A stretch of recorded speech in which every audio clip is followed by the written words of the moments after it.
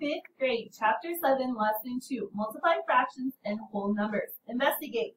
Martin is planting a vegetable garden. Each row is 2 meters long. He wants to plant carrots along 3 fourths of each row. How many meters of each row will he plant with carrots? So what we did was we have two wholes, and then we need to break this up into four pieces. So what's, if we took four pieces, what size pieces would have to would we have to use to equal those two whole pieces? Half. One half size pieces.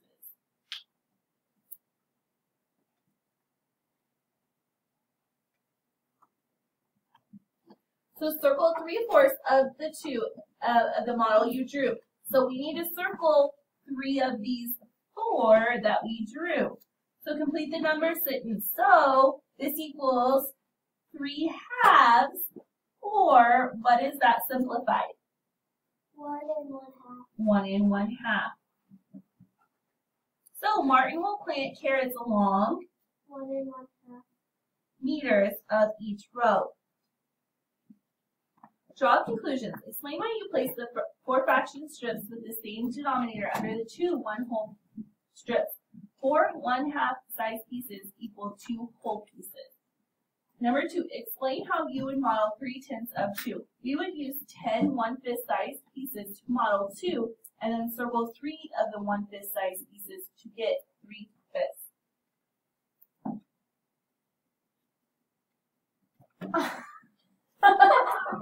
Make connections.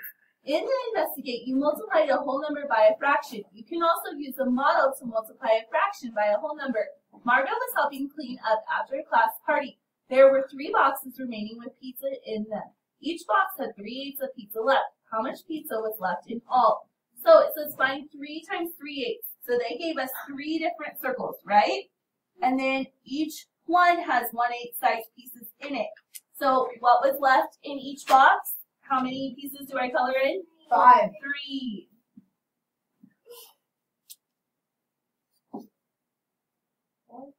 Each circle shows three eighths of the whole, right?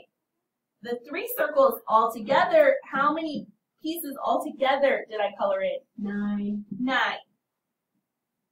Eight. So three plus three plus three is Nine. nine eighths, which also equals One and one eighth. one and one eighth. So nine eighths, which also equals one and one eighth. Eight. So Margot had One and one, One eighth boxes of pizza pizza left. Share and show use the model to find the product. So they said five six times three. So they gave us three wholes, and then they said half size pieces would equal one whole. So then they said to circle five of the one half size pieces. So that would get us what? Five halves, or what else, guys? One and one half. Two and one. two and one half. Because two goes into five twice. Two times two is four. Five minus four is one. And then your denominator stays the same, right? Two times five, six. So how many of those six size pieces are colored in? Five. Not five, ten. So ten, six, which also equals what? One and four. One and four six. One and four, six, which also equals One and two thirds. Two thirds. And then that would be my answer. Find the product. So 5 twelfths times 3. Now, we could draw our fraction bar models. We could draw our fraction circle pieces and whatnot.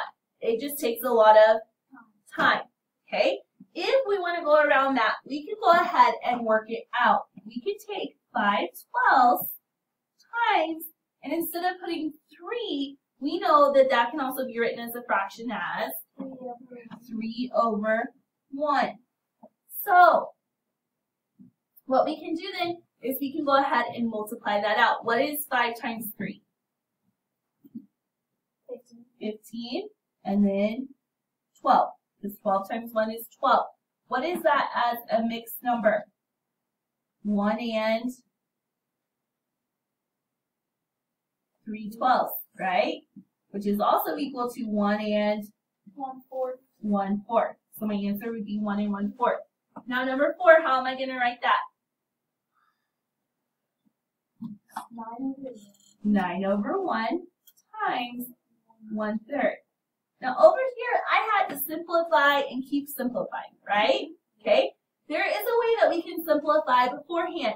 Are 9 and 3, do they share a common multiple? Yes. Yes. What goes into both 9 and 3? Three. 3. 3 goes into 3 how many times? One. Once. 3 goes into 9 how many times? Three times. 3 times. So 3 times 1 is Three. 3. 1 times 1 is, so my answer is 3. How am I going to write number 5? Seven. Times four. One. Can I simplify before I begin? Yeah. Yes. yes. I'm going to diagonal cross out my 4 and my 8. Because, why do I go diagonally and not up and down vertically? Because then it's sometimes You should have simplified before you started multiplying, right? If it was vertically. Diagonally, we're just getting it simplified a little bit quicker. So, what goes into both 4 and 8? four. 4, so 4 goes into 4, Times 4 goes into 8 five. twice. 7 times 1 equals, 2 times 1 equals, Two. so 7 over 2 is also equal to Three. and 1 half. How am I going to write number 6? Four over one times. Three. Times 3 fifths.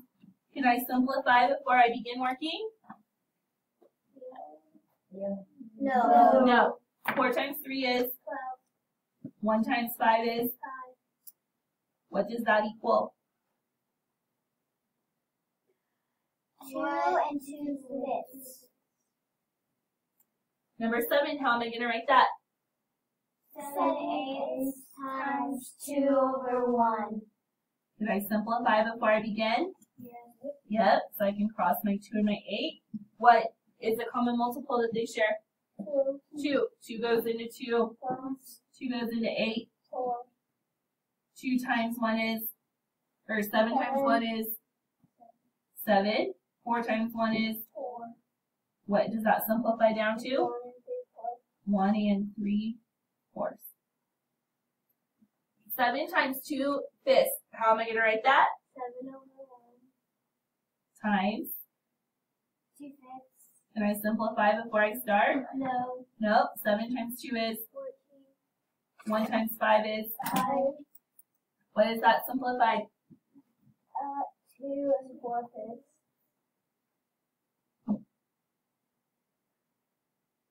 3 eighths times 4 over, or times 4. How am I going to write that?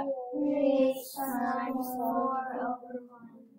Okay. Can I simplify before I begin? Yes. Yes. So I can cross out my 4 and my 8. What is a common multiple that they share? Four. 4. 4 goes into 4. Once. 4 goes into 8. Twice. 3 times 1 is, Three. 2 times 1 is, Two. what is that simplified? One. How am I going to write number 10? Eleven over one times three. Can I simplify before I begin? No. 11 times 3 is. 1 times 4 is, Four. what is that simplified? Eight and one. 8 and 1 fourth because 8 times 4 is 32. 33 minus 32 is 1. So 8 and 1 fourth. How am I going to write number 11? Four fifty times five over one. Okay, can I simplify before I begin? No. Yes. Yes. What is a common multiple of 5 and 15? Five. 5. How many times does 5 go into 5? Once. 5 into 15. Three. So 4 times 1 is, Four. 3 times 1 is, Three. what is that simplified? One and one third.